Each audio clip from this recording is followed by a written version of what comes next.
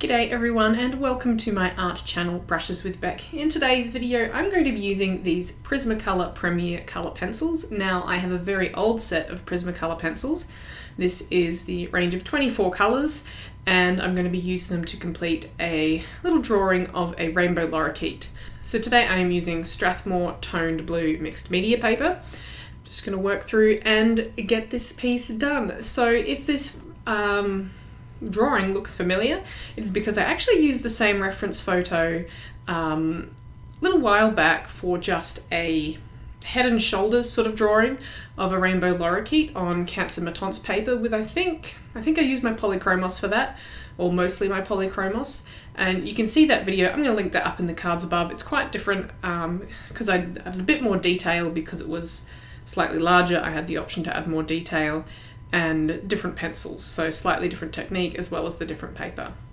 So for this, the Strathmore Toned Blue is a smooth paper, but it has enough texture to grip the pencil, and I like using uh, Prismacolors on this because they Prismacolor colours are very bold.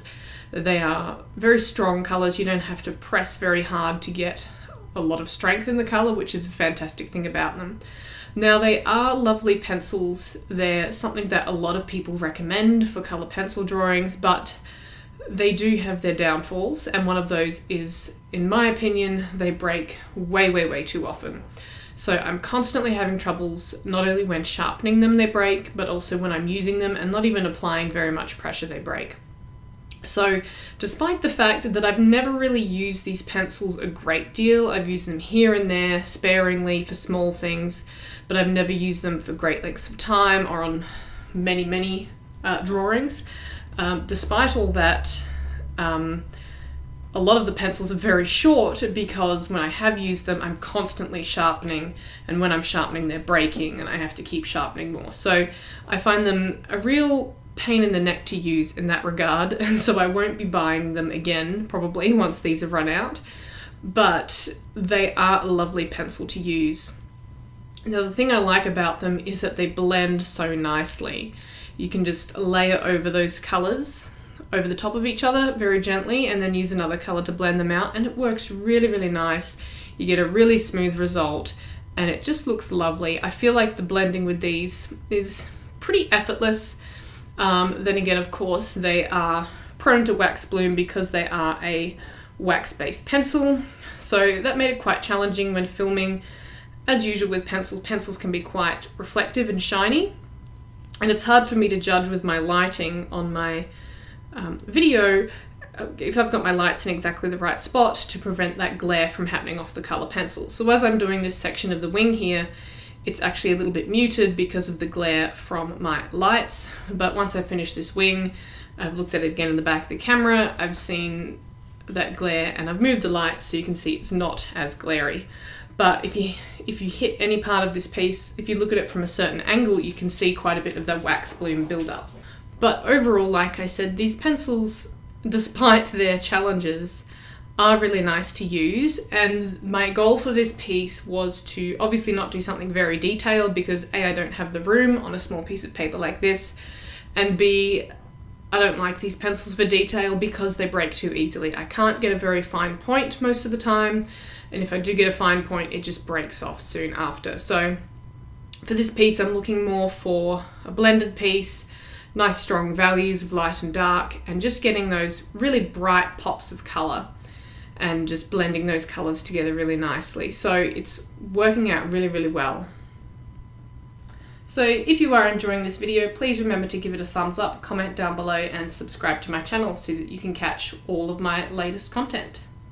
Now moving on to the breast area of the bird, and this area was probably the most fun. It was just, it came together really easily, it was very relaxing to do. I just love those little uh, variations and color changes with that sort of scalloping, scalloping on the feathers and really getting in that dark red instead of a bright red to emphasize that that area is in shadow really, really helped with this piece. And so as you can see, you probably see it in the sped up there, that my pencil just keeps breaking and I had this problem with many colors. Now, as I said, I have had these pencils a long time, so it's possible they break more than regular Prismacolors do, but even when I first had these, I always had problems with sharpening and not getting my pencils to break. So in terms of quality of the build, not my favorite pencil, but as I said, they are lovely and smooth to work with. And they go down really nice on this paper. So I have no problem um, getting the strong colors over the top of this toned paper at all with these pencils. So just going in with my blending, I tend to pick, I pick out a color that's going to be my main color tone, which is sort of that yellowy green in this area.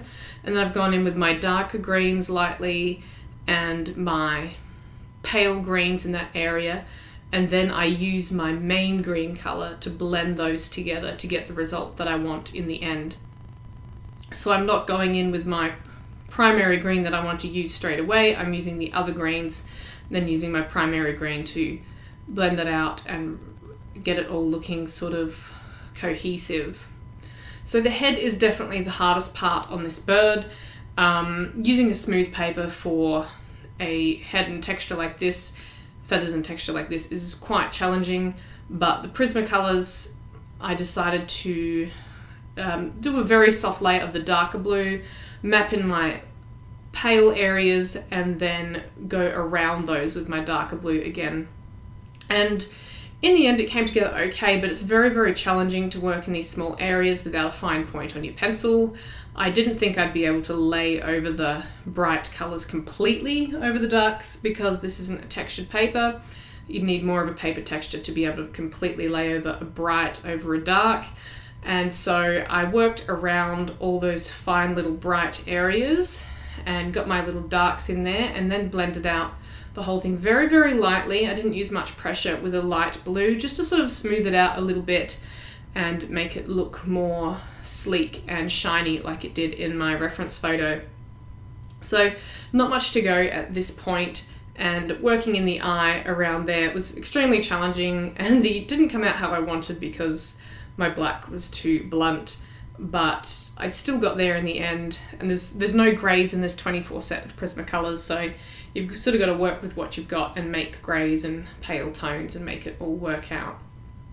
So this lovely beak is nice and bold and shiny, and I feel like that's almost the best way to use Prismas is with those really vivid, bold colours rather than sort of muted tones and that sort of thing. So last little bit is the feet, and I will admit I cheated again. I left the feet till last, and then I didn't draw them on anything.